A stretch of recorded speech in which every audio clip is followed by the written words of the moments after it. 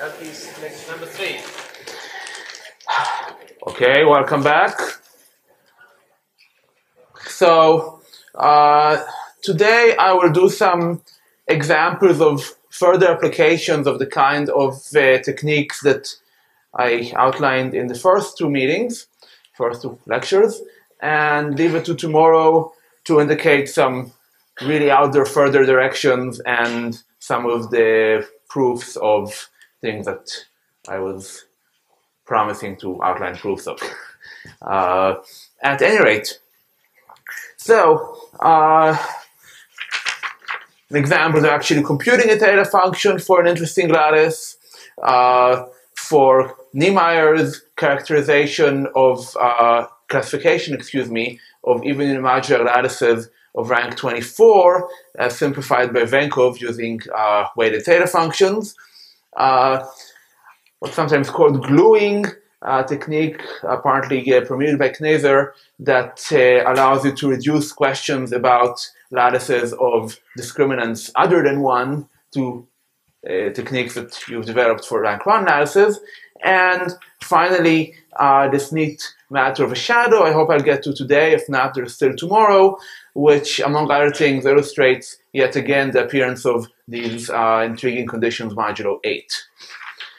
Uh, okay, so uh, I uh, okay, I have to find this. Here we go. Okay, so we saw that last time if you have a lattice L in Rn, let's say n is 24m, and L is even and self-dual, then, can that be read? Yeah. The minimal norm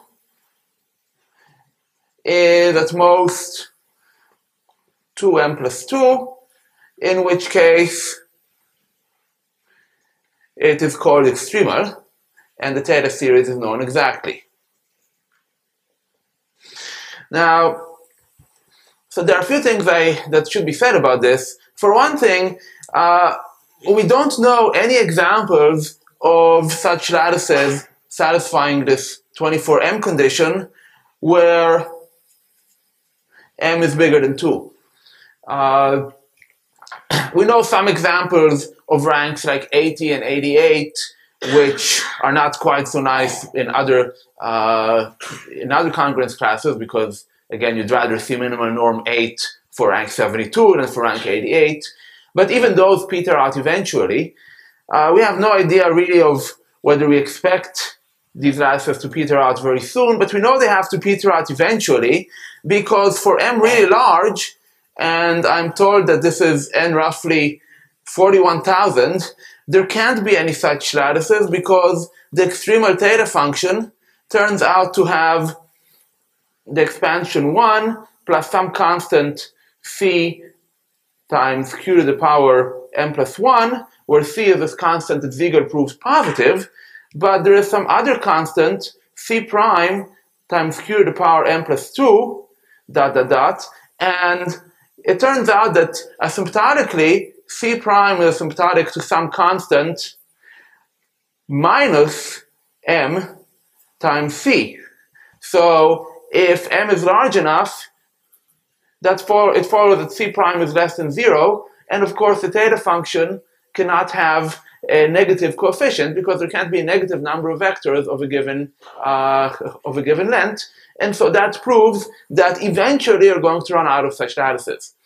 But there's a long distance between 48 and 41,000, and we don't know when that happens. And in particular, there is already a big open question about what happens when n, equal, m equals 3. That's first case where we don't know whether there exists an extremal lattice of which is even unimodular of that rank. Now, how have people tried to construct such lattices?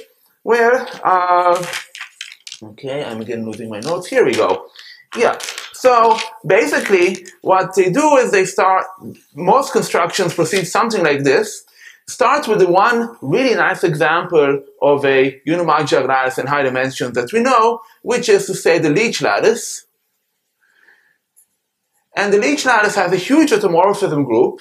So pick out some subgroup of its automorphism group, uh, Conway naught, which is OT of lambda 24, double cover of the famous uh, sporadic simple group that Conway discovered by considering the symmetries of this group, and it contains some tiny piece G, and you try to construct a lattice in higher dimension that generalizes uh, one of the constructions of the Leech lattice with automorphisms by G. So for instance, there is a construction which uh, has G being some simple, simple in the sense of elementary, not in the sense of group theory, simple part, but with the interesting part, SL2 of Z mod 11.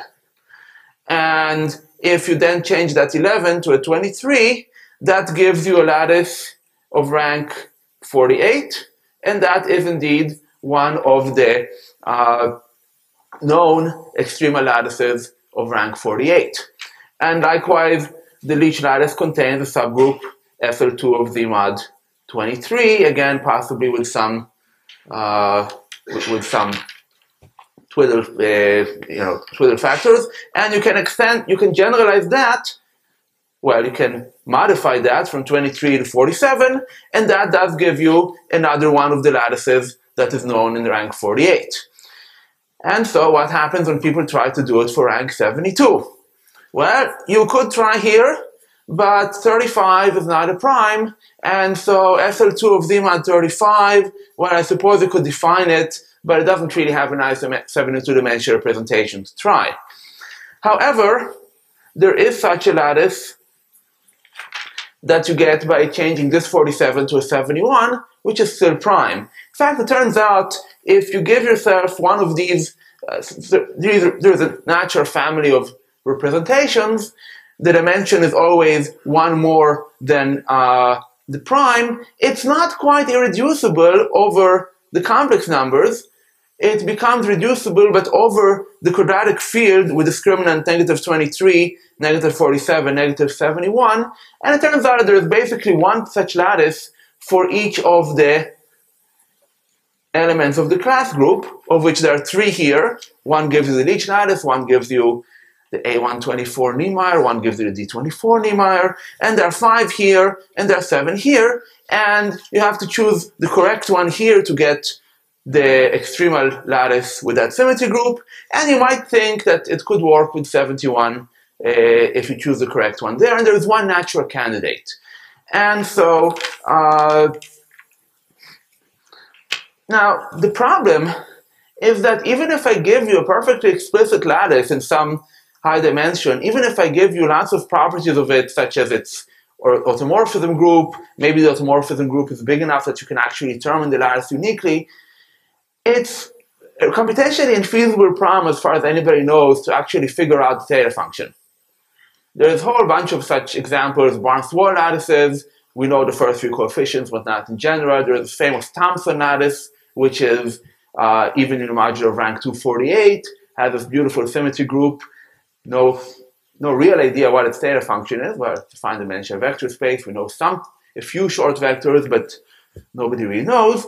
And basically, once you get past dimensions somewhere around 24, maybe 48 these days, generic techniques don't allow you to uh, to just compute what the uh, minimal norm is, what the theta function is, etc. So you have to work quite hard in each case. And so here's what happens for this lattice. It was constructed by Schultz Pilot, Pilot I'm not sure, uh, who asked whether it might be extremal. And very shortly afterwards, Gabriele Nebe uh, applied one of the standard techniques that one can use to investigate such questions, which is to just throw it into the Lenstra-Lenstra-Lovász lattice reduction algorithm. Uh, and keep trying and see if you keep churning if ever, ever a short vector turns up. And in fact, very soon a short vector turned up of norm 6. Uh, so it's not extremal, but he was able to show that there are none of norms 2 and 4.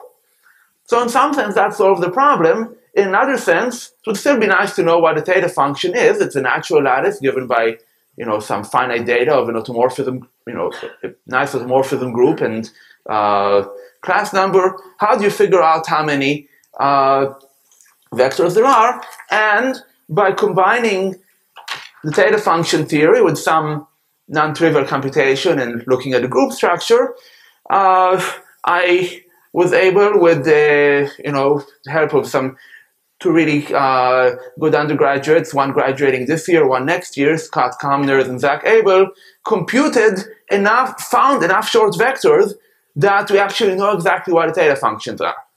Theta function is, excuse me. There are this many vectors of norm 6, and there are this many vectors of norm 8, and I claim that we have found all of them. Of course, we don't have a complete list of these, but we have a complete list of, uh, of orbit representatives, of which there's only a few, uh, like 16,000, and so it's feasible to list all of them. It's after, after some, uh, about, I think, several days to a week of computation. And what makes this possible is, okay, remember there are no there are no vectors of norm 2 and 4, so we know this is the first non-zero coefficient. We know that the zeroth coefficient is 1. And so the, the theta series is determined up to a multiple of delta cubed. But delta cubed, nicely enough, has a negative q to the fourth coefficient. So that means that whatever the correct theta function is, it's the one that starts with this plus some multiple of delta cubed. And so if there are more vectors of norm 6 than we found, there'd have to be less vectors of norm 8 and vice versa. And that can't happen because we know at least that many. And therefore there can't be any more, and that's a complete theta series. So that's one application in dimension 72, and I promise that I won't take you to that high dimension again. Uh, so let's see, I promised to do uh, Niemeier. So the Niemeier lattices are what happens when you take n equals 24, still even unimodular, but no longer with the assumption that we are dealing with an extremal lattice. So uh, which page am I on? I guess I'm on page, oh, this page, right. Okay, so remember that we were, our general technique for studying the distribution, the angular distribution of lattice vectors was to look at theta LP for some harmonic polynomial, and that was a modular form of weight 12 plus d, d being the degree of p, and it's a cusp form. It vanishes at q equals zero if uh, d is positive. Now, in particular, there are no non-zero cusp forms in weight 14. So that means if d equals 2, it follows that theta LP is identically 0, and, that for, and it follows from that that any non-empty shell of the lattice is a spherical 2 design. In fact, a spherical 3 design, but you know, as usual, the odd number is get for free. So that's a 2 design. And in particular, that's true for the second shell, well, first shell because the, the norms have to be uh, have to be even. And these are the vectors of norm 2 in the lattice, and those are the roots. Now, if you remember the formula that uh, uh, Professor Hanke gave last time for reflections, that involved dividing by the norm but multiplying by 2. And so that means the reflection by a vector of norm 2, reflection relative to a root, is actually going to always take lattice vectors to lattice vectors as long as the inner products are integral. And that allows you to give a complete description of the root lattice of any uh, integral lattice. And so that means that in particular, what you find is that the roots form some uh, direct sum, some orthogonal, there are some irreducible root systems of type an, dn, and en, which are well known, and any root system has to be made up of some copies of each one of some copies of these in orthogonal subspaces. So an for all n. dn, we usually require n at least 4, otherwise they repeat previous examples. and En exists only for 6, 7, or 8. You could define it for 5, 4, and 3, but that just repeats earlier root lattices.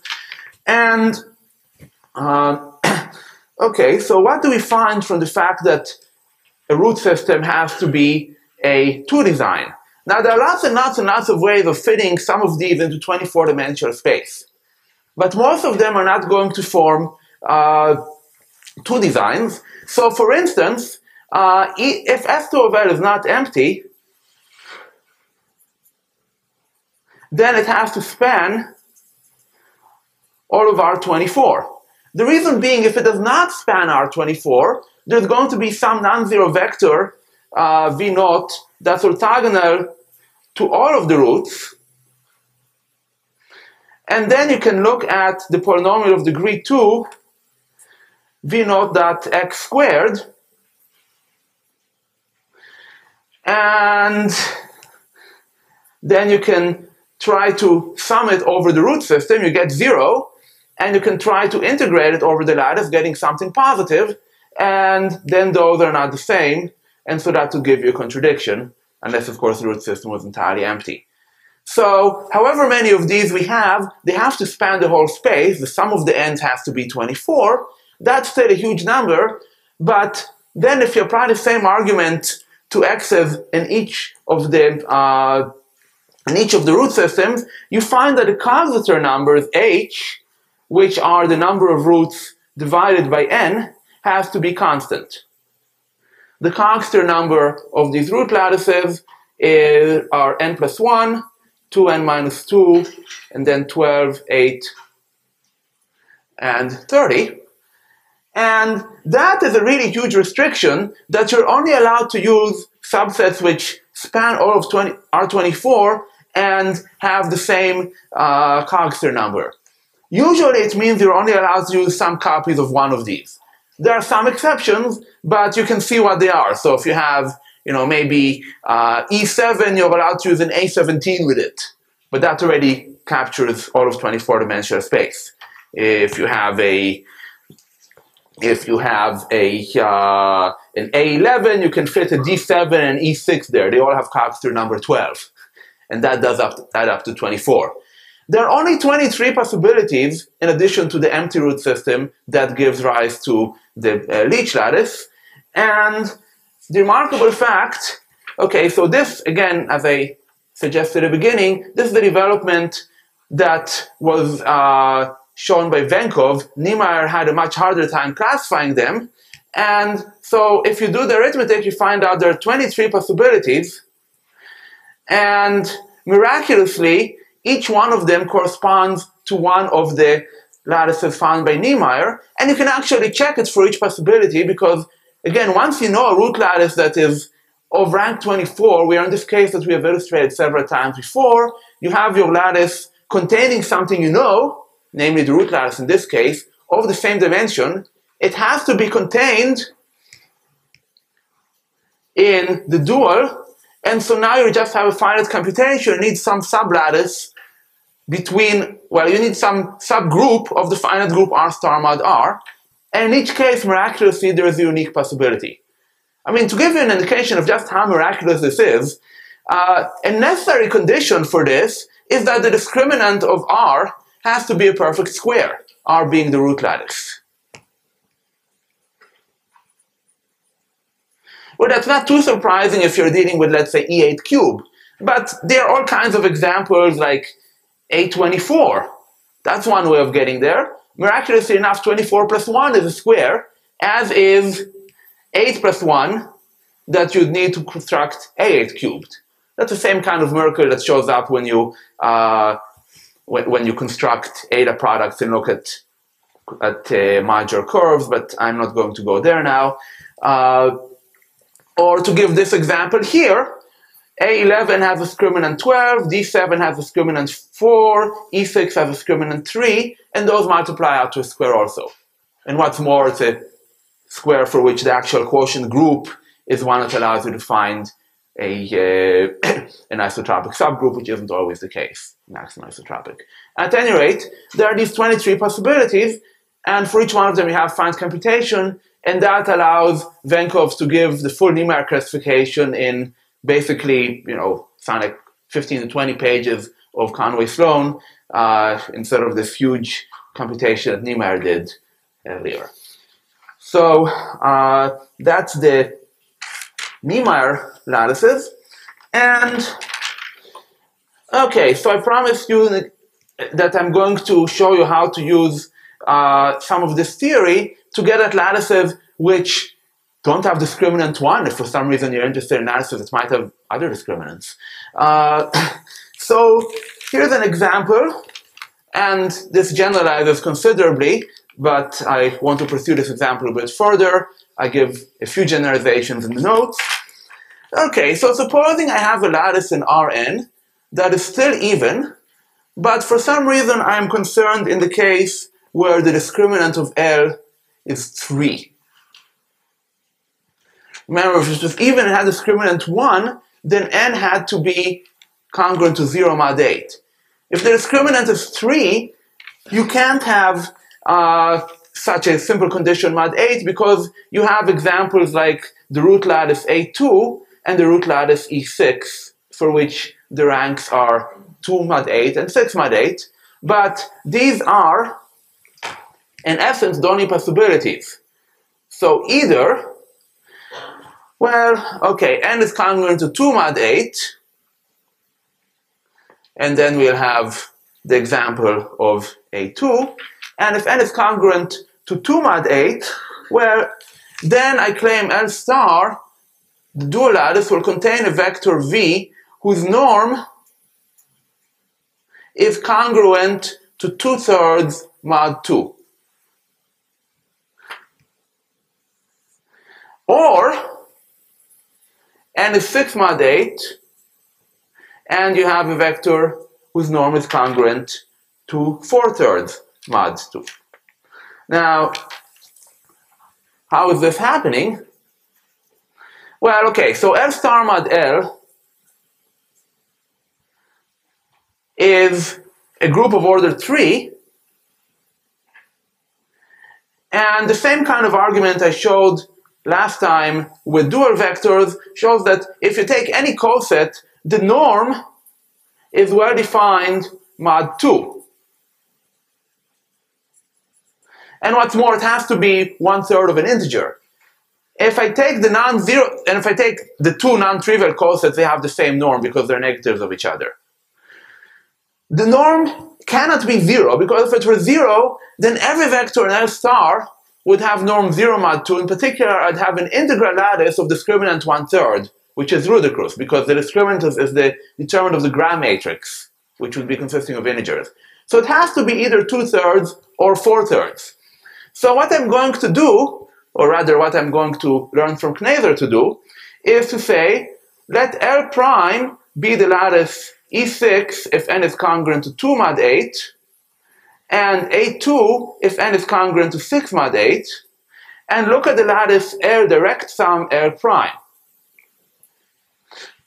That lattice in dimension n plus 6 or n plus 2 has discriminant 9, and it has a dual vector which I get by either taking this two thirds and adding it to the four thirds vector in the dual of E6, or vice versa. So that means I can put that vector back in this is called gluing because I'm, so to speak, gluing the lattice L to L prime to get a lattice of determinant 1. And then I get an even unimodular of rank n plus 2 or n plus, excuse me, n plus 6 or n plus 2 respectively. And because I already know that even unimodular lattices only exist in ranks that are 8 mod, excuse me, 0 mod 8, also 8 mod 8, that means that uh, this lattice has to be in dimension congruent to 2 mod 8, and this one, oh, I have begged the question here. This is, I'm going to this in the case where the dual norm is 2 thirds, and this in the case where dual norm is 4 thirds. And that's how I'm going to prove that n is in the congruence class I'm claiming, right? Because here I started from my lattice in rank n, added 6 to the rank, concocted an even unimodular, therefore n plus 6 is a multiple of 8. therefore n to mod 8. Likewise here, I did the same thing by putting in a two-dimensional piece and gluing them together. That means that n is congruent to 6 mod 8. Okay, so combining these two threads together, suppose now that I want to, oh, and of course, those of you who remember, which I hope is all of us, who uh, remember Conway's uh, list of invariants and say that they have to all add up mod 8, that's a, this is a special case of that because saying the discriminant is 3 is saying that there's no invariance except at uh, p equals 3 and at um, the non-Archimedean place. And uh, the non-Archimedean place is n plus, is just the rank, and invariant at 3 turns out to be, well, either 2 or minus 2 mod 8, depending on which of these cases you're in. And that's the condition that we are, uh, and that's the condition that the invariants have to add up to 0 mod 8. Uh, okay, so to give just one more example, drawing these two threads together, supposing now n equals 18, that's 2 mod 8, I claim I'm actually going to describe all lattices of discriminant 3, uh, which are even in this rank. Uh, that might seem to be a somewhat contrived special case, but I've actually needed that to study some uh, singular K3 surfaces, but uh, that's a different Winter School. So I'm not going to talk about super singular K, about singular K3s here. I will, however, say that in this case, there are going to be exactly six such lattices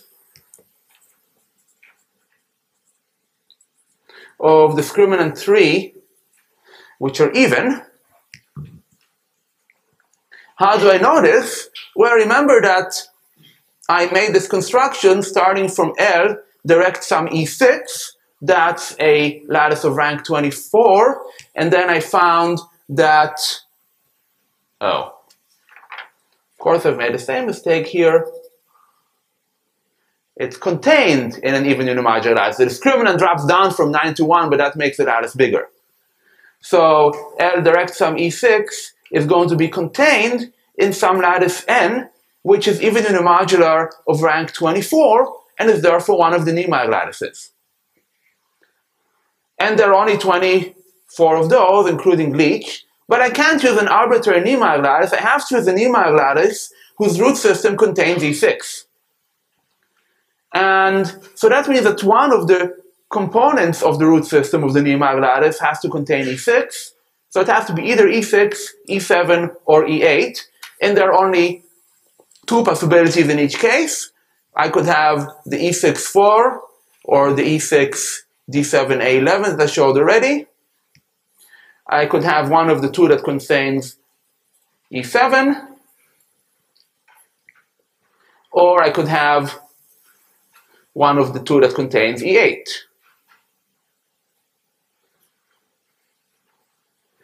Each one of them, I can recover my lattice by looking at an E6 inside the root system. So one of these E6s, this one, or a copy of E6 inside E7 or E8.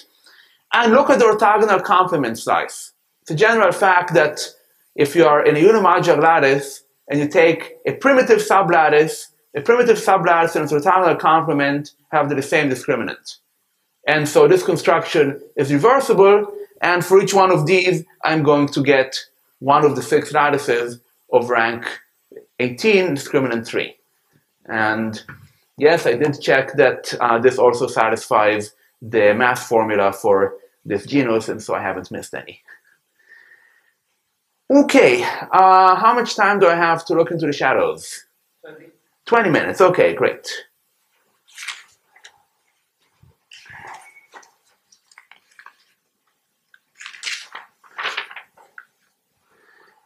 Okay. So finally, um, where do we go here? Oh yeah, here it is. So this time I'm going to stay with discriminant one. I'm going to stay with self-dual, in fact, but I'm going to drop the even condition. So actually I'm back somewhere where I was the first lecture. So here I am. So this is the shadow, aka the characteristic coset.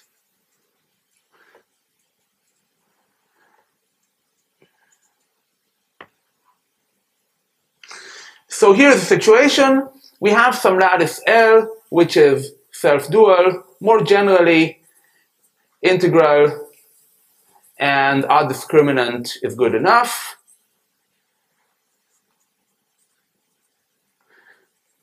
We are not assuming that it is even. So v dot v mod 2 doesn't have to always be doesn't always have to be zero but the map taking V to its norm mod 2 is still a homomorphism from L to the integers mod 2. Simply because the standard calculus mistake that the square of the sum equals the sum of the squares actually works mod 2. The discrepancy is twice v dot w. So, uh, because I am in a self-dual case, or more generally, in odd discriminant case, any homomorphism from L to Z mod 2Z is represented by a unique coset C in uh, L mod 2L. So that's a characteristic coset.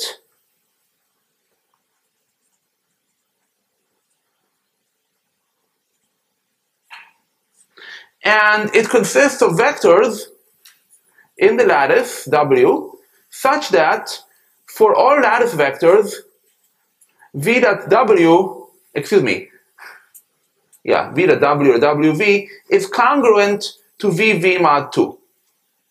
So you can recover the norm by taking the pairing with w mod 2.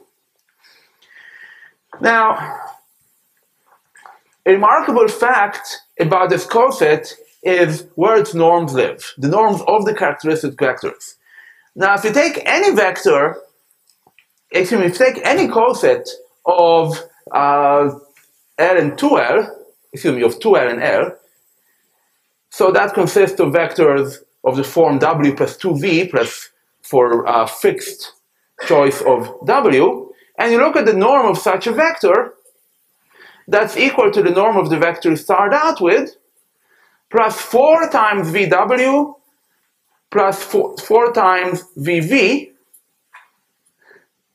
So that means that the norms in any coset mod 2 are actually constant mod 4. So I have a map from L mod 2L to the integers mod 4. But for the characteristic coset, this number is even. And so that means that this thing here is congruent to WW mod 8. And so we have an invariant of a lattice which takes, which takes its values in the integers mod 8.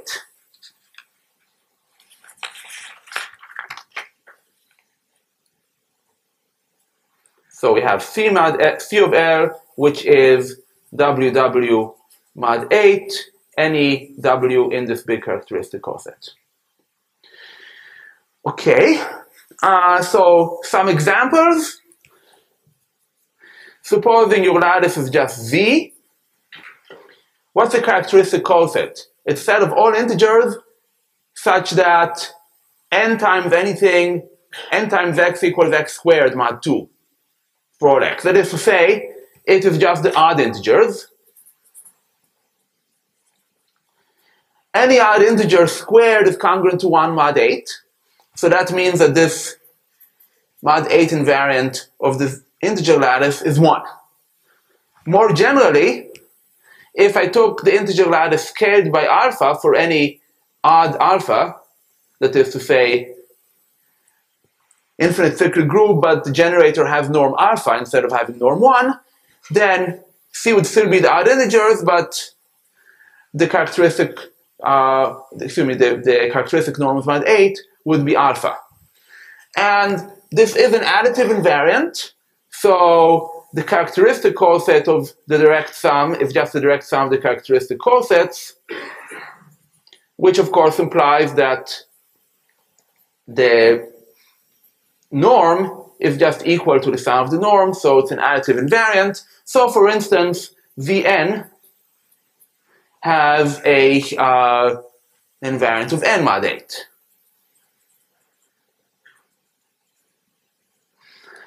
Now, I didn't require that my lattice should be even. So I, if the lattice does happen to be even, that's exactly the same as saying the characteristic coset is just 2L, right? So L even, if and only if C of L, the characteristic coset of L, excuse me, equals 2L, in which case, of course, it follows that 0 is the characteristic vector, so C of L equals 0 mod 8. And we already know that if the lattice has discriminant 1, this happens only in the case that uh, n is a multiple of 8. And in fact, that turns out to be, to, to generalize as follows. If L is self-dual and still positive definite, then all the characteristic vectors have norm which is the same at 8, and they are always congruent to n mod 8. So that's a nice generalization of the fact that uh, of, of the fact that uh, even unimodular lattices only exist for multiples of 8. Uh, and again, there is a nice algebraic proof of that that you can find in, uh, for instance, in Serre's course in arithmetic. It is yet another example of the sum of uh, excuse me, of the, of the sum of local invariants adding up to zero mod 8, and it can be proved using theta functions in the, even, in the positive definite case. How so? Well, so remember that if you look at theta L, that's modular of weight n over 2, not for the full congruence group, for the full modular group, but for congruence group gamma plus, which is of index 3 in gamma. But you can still ask how does it behave under all of gamma. So remember gamma is generated by S and T, this being minus 1 over tau, this being tau plus 1. Gamma plus is generated by S and T squared. And to figure out then how this function transforms under all of gamma, you just need to know it's modular for gamma plus and to look at its images under two of the, uh, under, uh, excuse me, representatives of two of the non-trivial cosets. This is a group containing that one with index 3. And so there's only two non-trivial cosets you need to worry about. One of them is just theta L of tau plus 1. And that's relatively easy. That's just the sum over V of uh, minus 1 to the norm times q to the power half of the norm. Ah, but now is where we use the fact that the norm is, uh, excuse me, the norm is v dot w, where w is a characteristic vector. And so what we have here is you can write as e to the power pi i times VW plus, and again, this is going to be VV times tau. And now you can apply Poisson to that, and when you do this, you find that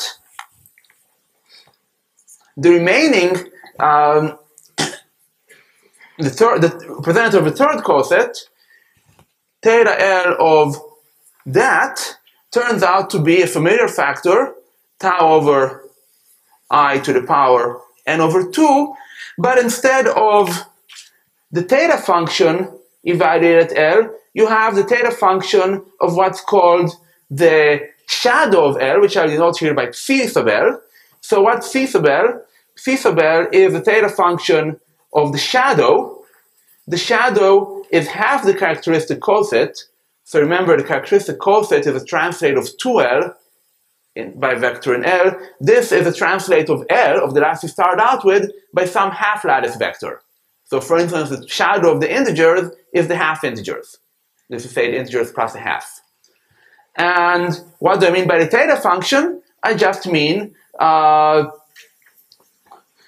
it's a sum over all vectors in L plus W over 2 of the usual thing q to the power a half VV comma tau, except now V is not a lattice vector, it's a half lattice vector, and the fact that all the characteristic vectors have the same norm mod 8 means that all of these half characteristic vectors have the same norm mod 2.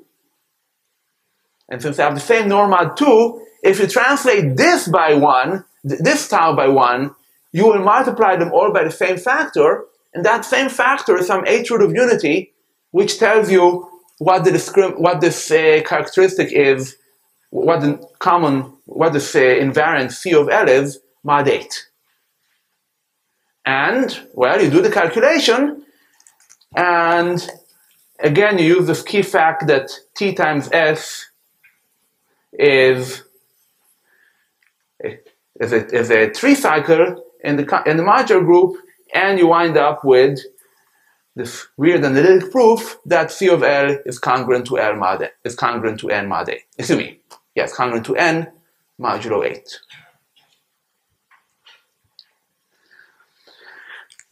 Now, again, this is not the only proof that one can find for that, but this identity between the theta function of a lattice and its shadow has found various other uses.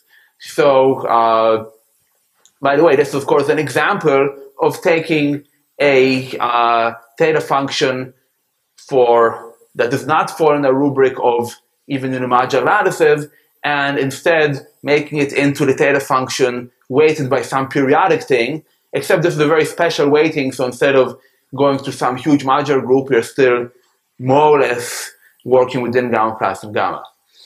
At any rate, so some examples of what it's been used for, uh, if you try to use the same kind of theta function expansions, extremality, etc., for unimodular lattices that are not even, uh, you can play the same game, but your notion of what's extremal is so weak that it never happens past dimension, well, somewhere around 8 or 15 or so.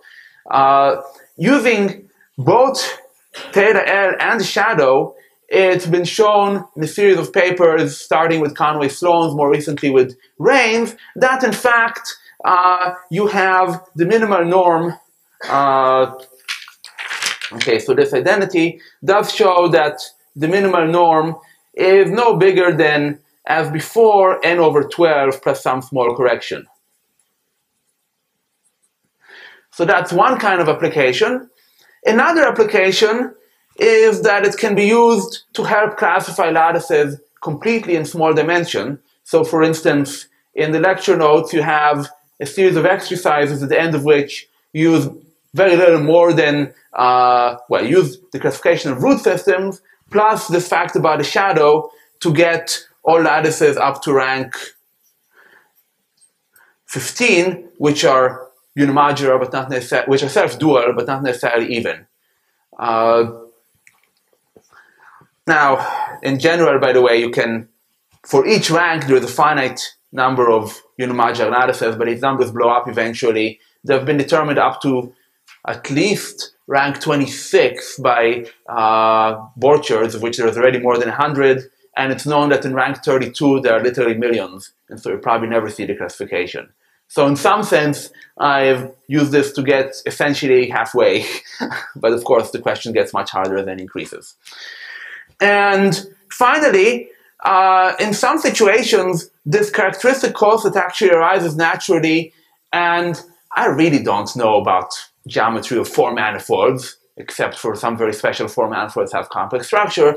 But uh, I'm told that in some cases it is uh, you naturally get four manifolds whose cohomology groups, I never know if I want to put it to here or there, I think that, yeah, I think it's this one, uh, whose cohomology groups form a positive definite lattices, a positive definite lattice, and the shadow, or, and it's integral by some kind of duality theorem, and its shadow actually tells you something about the geometry of the space. So at one point, uh, uh, Cliff Taubes and uh, Tom Mrowka started asking various people, is it true that z to the n is the only lattice self-dual unimodular uh, positive definite, well, self-dual implies unimodular, positive definite for which the uh, shadow vectors are as long as n, right? So remember, Zn has shadow vectors are all the odd numbers, and so an odd square is at least one. So the norm of a, of a shadow vector, excuse me, of a dual vector, of a characteristic vector, I should say. This again. If W is a characteristic vector of Zn, all of its entries are odd integers, therefore the norm is at least n. If you do this for any other lattice that you know in the list of, let's say, 121 uh, lattices of rank 26, you find that the characteristic vectors always have norm congruent to 8 mod n, but you can always find one that's of norm less than n, maybe n minus 8, n minus 16, etc. And the question was, uh, is Zn the only example? And the answer is yes, And so far, it's again one of these fun results that a statement is completely, you know, either algebraic in terms of self-dual lattices or geometric in terms of, you know, how close can you get to zero. But the only proof we know is using modular forms on, uh, on the upper half plane. So uh, that, that paper again is in the bibliography. And I guess I'll stop now. How much time do I have? Okay, great. So uh, maybe we'll have five minutes more to explore Sabino Canyon or to have lunch beforehand. So stop here and some proofs tomorrow.